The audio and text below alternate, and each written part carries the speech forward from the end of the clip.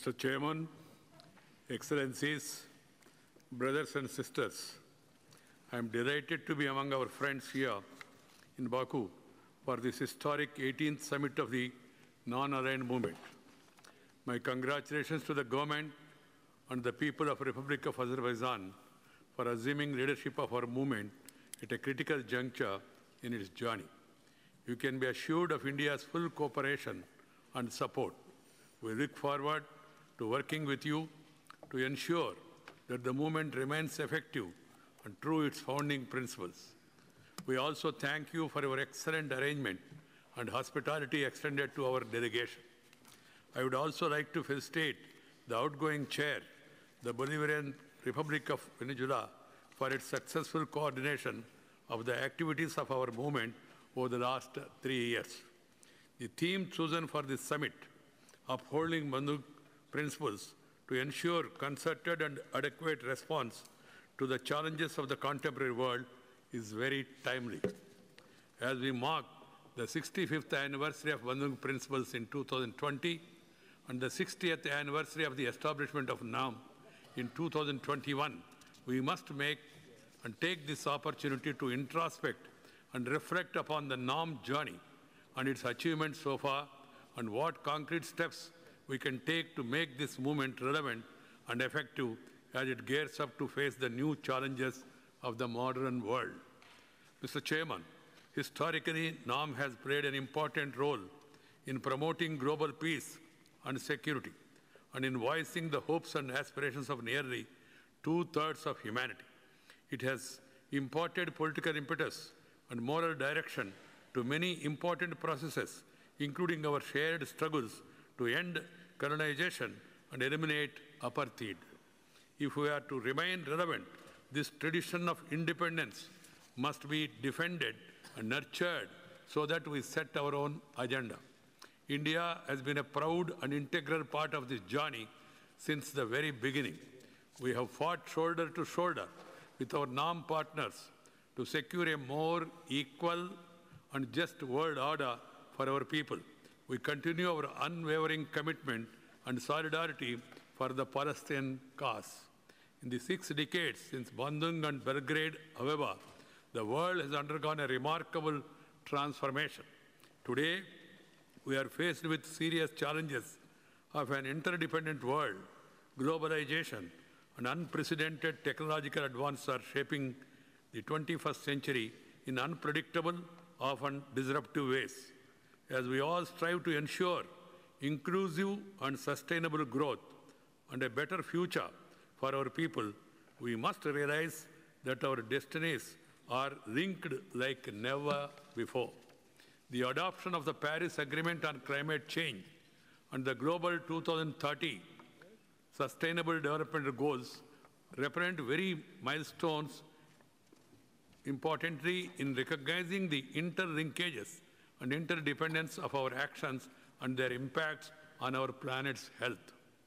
Contemporary threats respect no borders, whether it is terrorism, climate change, pandemics, financial crises, or even cyber security. Mr. Chema and Excellencies, terrorism continues to expand its tentacles with increasing impunity. This is the single most destructive threat, not only to international peace and security, but to the very principles we are discussing today. Its capacity to inflict damages have multiplied with the diffusion of our information technology, giving terrorist organizations offensive cyber capabilities. The only way to fight this menace is to strengthen and implement without exception all existing international laws and mechanisms to combat terrorists and their enablers. No justification whatsoever can be accepted for violent extremist ideologies and terrorist actions that uh, maim and murder innocents, disrupt the very fabric of our societies, and stall development efforts.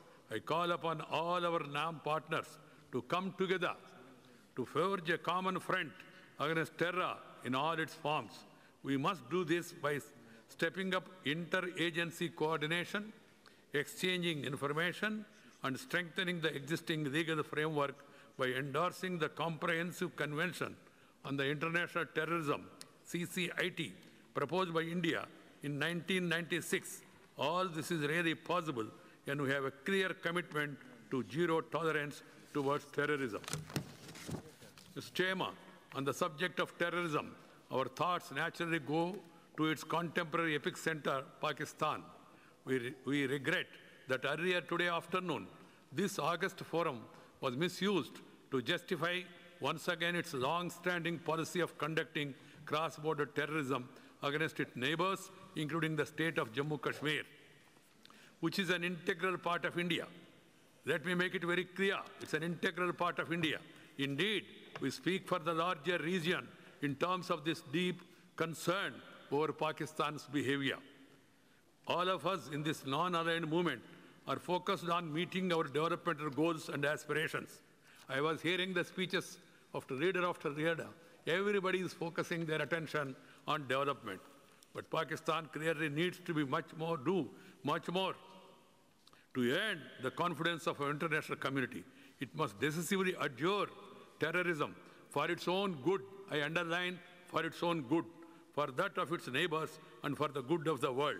Mr. Chairman, we must urgently find solution to the developmental challenges of bringing health, education, clean energy, and jobs to our people amidst a global economy being rapidly transformed by advances in technology. These common goals can only be achieved with a global governance system that is just, equitable, and representative. This necessitates, early and meaningful reform in the United Nations, including a Security Council, to reflect the contemporary realities of the 21st century. We hope that the 75th anniversary of the United Nations will finally produce concrete outcomes towards this goal. NAM countries need to work together to uphold the rules based on global order and respect for international law. We must also ensure that multilateral institutions and regimes are working effectively for the benefit of our people. NAM must also keep pace with the changing times and focus itself to remain a useful and influential grouping that can promote our interest on emerging global challenges. Our movement was created to provide a platform for autonomy of policy for newly independent and developing nations, an objective that remains even relevant today. We should demonstrate the strength of unity in diversity by pursuing a focused, positive, long-term agenda. For this, we do not need to we do not need to position NAM as far or against any ideology, groups of nations. It is important that we do not waste our energies on issues that cause dissonance among us. We should uh, identify, select cross-sectoral challenges that require our immediate attention and on which we can work together to present workable solutions. Since that come to my mind immediately are counter-terrorism, global governance reform, sustainable development, and South-South cooperation. Our countries share much in common. We have similar experiences and shared aspirations, even as we represent diverse people, circumstances, and levels of development. NAM is the large grouping that can shape global responses to such challenges as we have done in the past. Mr. Chairman, Honorable Excellencies, as always, India stands ready to play its part. The underlying principles of India's development agenda is through everyone's support for everyone's development and towards everyone's trust.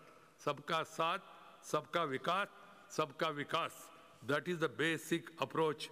This approach also mirrors the essence of the 2030 agenda for the sustainable development of leaving no one behind. A few weeks ago, the United Nations General Assembly, the Prime Minister of India, Sri Narendra Bhai Modi, outlined how India seeks to collectively eh, make efforts to address these serious challenges facing the world through the new global platforms initiated by India. The Indian vision is a vision of collaborative endeavor for common good of humanity. As the Vedic saying written about 4,000 years ago suggests, I quote, may our intentions and aspirations be alike so that a common objective unifies us all. That common objective is the welfare of all our citizens. Let us make our movement align with that overreaching objective of improving the quality of life of our people. Let us be aligned with the forces of peace and development. Peace is the prerequisite for progress. If you have tension, you cannot pay attention. So we must all work towards achieving the larger aim of bringing peace across the globe. This is the message that I bring to NAM on behalf of 1.3 billion Indians. Thank you very much. Jai Hind. Thank you, Excellency, for your statement. Now I invite Mrs.